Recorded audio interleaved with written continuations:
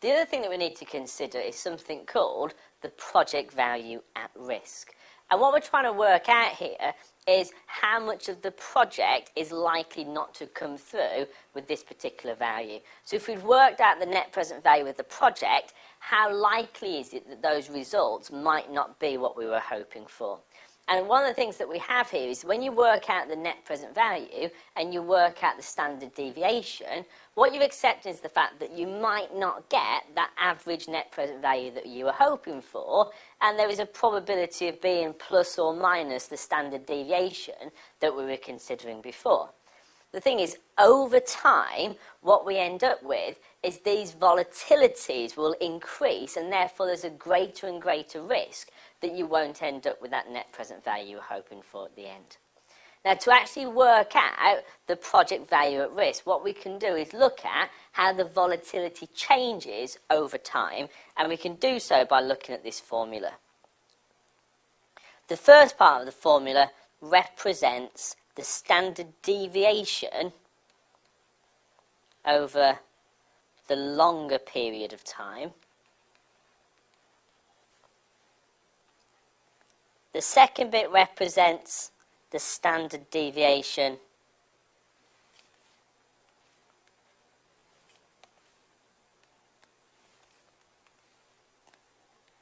over the shorter period. And the square root of t, where t represents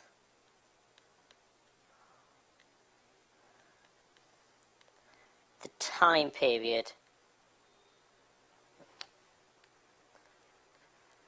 between the short and long period. But not in terms of number of months or number of years, but how many times the short period goes into the long period. For example, if the long period is one year and the short period was three months, then T would actually be 4 because there are four three-month periods in one year. So if we consider an example, the expected annual cash flows of a project are $250,000 and the annual volatility of the cash flows is $24,000. Assume that each year's cash flows are independent of the previous year's cash flows. Calculate the expected total cash flows over a four year period and the four year volatility of the cash flows. Now, first of all, if the annual cash flows are expected to be $250,000 each year, and we're considering this over a four year period, then the four year expected cash flows will simply be 4 times 250,000, which is 1 million dollars. What we have here is an expected annual cash flow of 250,000 with a standard deviation of $24,000. Now what this means is there's a 34% chance that you might be one standard deviation below the mean.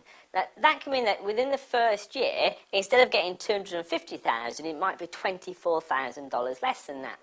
But what if after the second year you're $24,000 below again, and the third year you're below again, and the fourth year you're below again?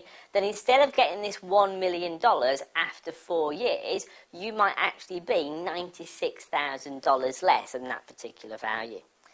Now, the thing is, though, based on what we've just calculated looking at Monte Carlo simulations, the likelihood of getting this figure of 24,000 below the first year and 24,000 below the second year and the third year and the fourth year is particularly unlikely given the nature of normal distribution that says that half the time you'll be below it and half the time you'll be above it. So it's very unlikely that you're going to get this 24,000 below one year and again the following years. Chances are at some point you're bound to be above it slightly, which could ultimately balance it out. What we need to do then, therefore, is work out how volatile this is going to be over the whole four year period. So if we were to use that formula looking at the standard deviation over the long period. So what we're doing here is looking at how volatile is it going to be over the four-year cycle.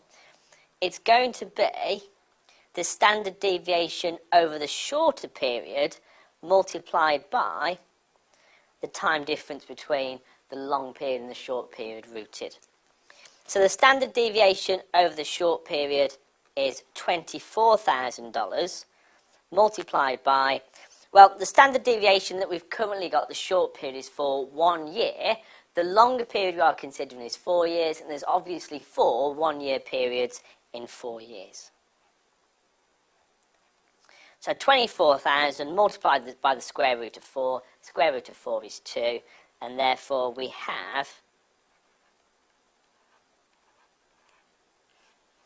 a standard deviation of 48,000. What this is basically saying, over a four-year period, the standard deviation isn't simply going to multiply by 4. Chances are, over time, downward variations could balance themselves out against upwards variations, and as a result of it, the spread isn't going to be quite as big.